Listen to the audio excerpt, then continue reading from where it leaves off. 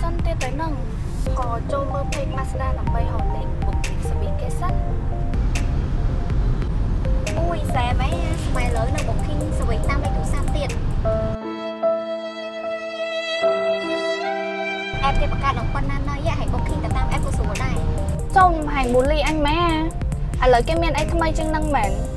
ជំរាបសួរអតិថិជន Mazda Cambodia ទាំងអស់គ្នាថ្ងៃនេះផងដែរនេះខ្ញុំមានដំណឹងល្អមួយជំរាបជូនដល់លោកអ្នកដែលតែងតែមកទទួលនៅសេវាកម្មថែទាំនិងជួសជុលរថយន្តនៅ Mazda Cambodia ឥឡូវនេះលោកអ្នកអាចធ្វើការកក់នៅជាមួយនឹងសេវាកម្មដោយប្រើប្រាស់ ជាមួយនឹងកម្មវិធីទូរស័ព្ទចុងក្រោយបង្អស់ដែលមានភាពងាយស្រួលទំនើបទាន់សម័យចំណេញពេលវេលាគឺ App HGB One លើពីនេះលោកអ្នកអាចទទួលបាននៅការផ្ដល់ជូនយ៉ាងពិសេសរាល់ការកក់ជាមួយនឹងសេវាកម្មរបស់យើងណាមួយលោកអ្នកនឹងទទួលបានការបញ្ចុះតម្លៃរហូតដល់5%ភ្លាមភ្លាមៗ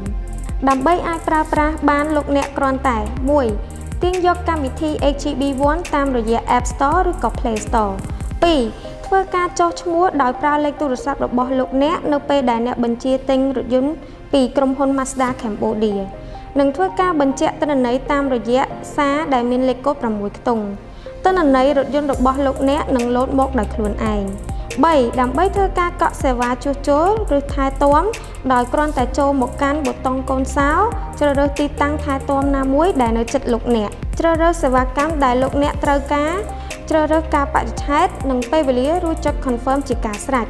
ម្ចាស់រថយន្ត Mazda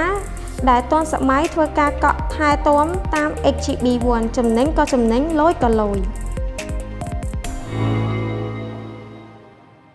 HGB Auto Enriching Experience